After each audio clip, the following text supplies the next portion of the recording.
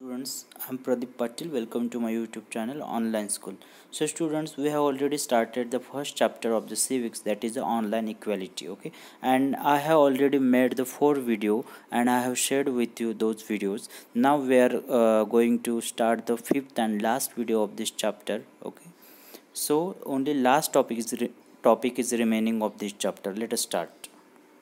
That is issue of equality in other democracies okay so in this topic we are going to discuss the issue of equalities of other democratic countries like uh, india in the world. Okay you are probably wondering whether india is only india is the only democratic country in which there is inequality and where the struggle for equality continues to exist the truth is that in many democratic countries around the world the issue of equality continues to be the key issue around which communities struggle. So hmm. here it is said that student you might be thinking that only India is the democratic country where issue of inequality or struggle for uh, equality is going on. But it is not like that. Even there are many democratic countries in the world where same struggle for equality is going on. Okay? So let us discuss the one example of such a country. For example, in the United States of America, the African Americans whose ancestors were the slaves of were the slaves of slaves who were brought over from Africa continue to describe their lives today as largely unequal. Okay, so students, you, uh, in USA also people are some people are struggling for equality. Okay, which people African American people. Okay, so first try to understand what is meant by African African American people African American people मतलब क्या? जो अभी, जो American है, उनको black American से भी बोला जाता है ओके ब्लैक अमेरिकन जो लोग है ब्लैक अमेरिकन और अफ्रीकन अमेरिकन लोग वेट वेट वो बहुत सालों से अमेरिका में रह रहे हैं ओके जो अभी फ़िलहाल अमेरिका के सिटीजन भी है ओके लेकिन उनके जो एंसेस्टर्स है वो नाना, दादा, दादी जी, वो अफ्रीकन थे ओके मतलब उनके जो, वो ब्लैक अफ्रीकन लोग थे, उनके एंसेस्टर और पास्ट में मतलब बहुत साल पहले उनके जो एंसेस्टर्स थे, उनको बहुत बैडली ट्रीट किया जाता अमेरिका में अमेरिका में ओके उनको स्लेव जैसा ट्रीटमेंट दिया जाता था okay so this people those who are presently living living in America those who are the African American people okay so they are facing the issue of inequality so let us continue wait wait okay This despite the fact that there was a movement in the late 1950s to push for equal rights for African Americans. Okay, so here it is said that um, ये जो अभी उनका inequality face कर रहे हैं लोग ये अभी भी फ़िलहाल फेस कर रहे किसके बावजूद एक अमेरिका में एक मूवमेंट हुआ था okay in when it happen in late nineteen fifties okay in late nineteen fifties एक मूवमेंट हुआ था। वो किस लिए हुआ था? वो मूवमेंट जो ये अफ्रीकन अमेरिकन लोग हैं, उनकी इक्वालिटी के लिए ये मूवमेंट हुआ था okay equal equal rights for African American okay in 1950s in late nineteen fifties means around 1955 तो ये जो मोमेंट होने के बाद ही अनइक्वलिटी अभी भी अमेरिका ये अफ्रीकन अमेरिकन लोग फेस कर रहे हैं in America okay prior to this African American they treated extremely unequally in the United States and denied equality through law okay for example when travelling by bus they either had to sit at the back of the bus or get up from their seat whenever a white person wished to sit. Okay. So students,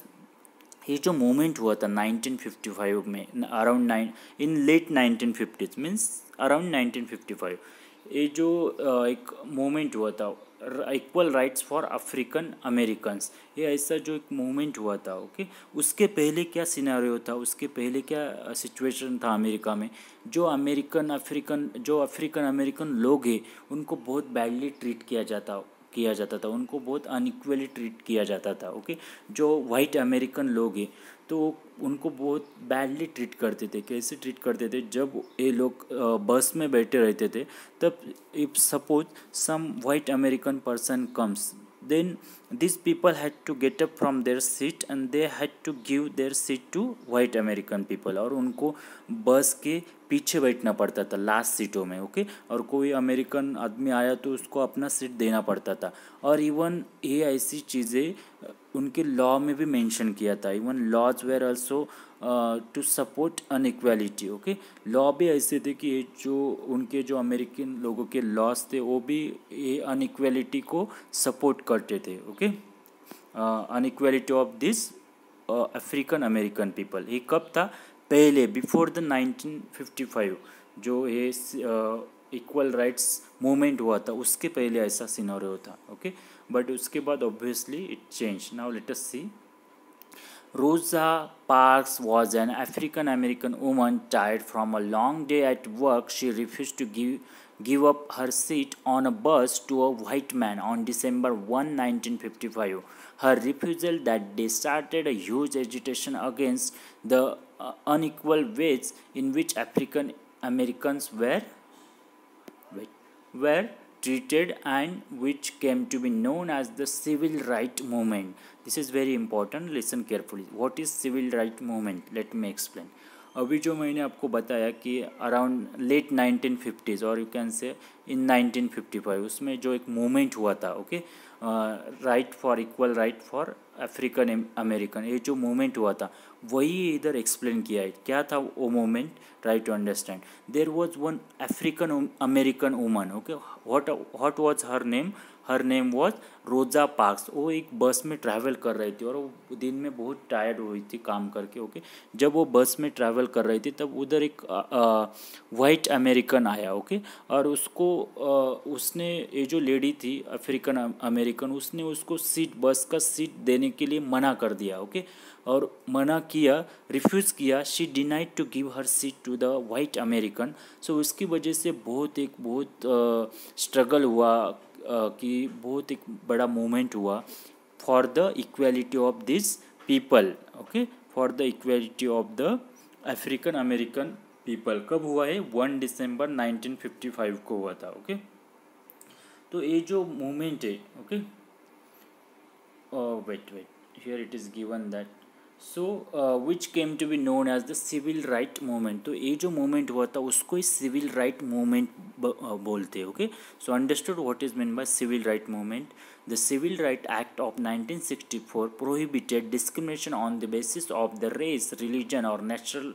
origin okay so ये movement के बाद एक ऐसा law निकला civil right acts of 1964 1964 में आया है law okay civil the civil right acts ये अमेरिका में आया था, ओके? ये लॉ में ऐसा मेंशन किया था कि कोई भी discrimination on the basis of race religion natural origin ये प्रोहिबिट किया जाएगा, okay? It was mention in that law it also stated that all schools would be open to African American children and that they would no longer have to attend separate schools specially set up for them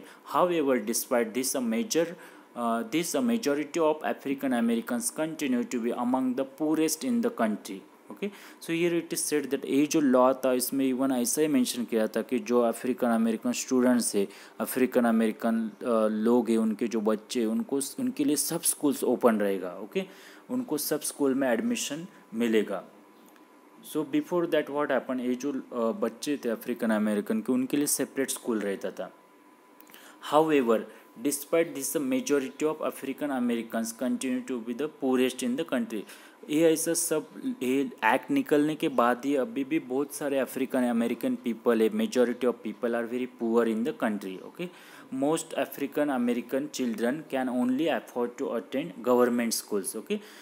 ये जो African American people है, वो सिर्फ़ government school में उनके बच्चों को पढ़ाने के लिए अफोर्ड कर सकते हैं ओके okay? और गवर्नमेंट स्कूल का सिचुएशन कैसा रहता है? थोड़ा facilities are very least okay and poor qualified teachers poor qualified teachers रहते as compare to white students who इधर गो टू प्राइवेट स्कूल्स और live in areas where the government schools are as highly rated as private school as compare to जो white people है, वो उनके बच्चों को बहुत सर, बहुत प्राइवेट स्कूल अच्छे स्कूल में पढ़ाते हैं और कभी कभी गवर्नमेंट स्कूल में पढ़ाते हैं, लेकिन वो गवर्नमेंट स्कूल जो रहता है, वो बोलिए, बहुत हाईली रेटेड गवर्नमेंट स्कूल रहता है ओके सो ऐसे छोटे minor inequality issues are there in even America as well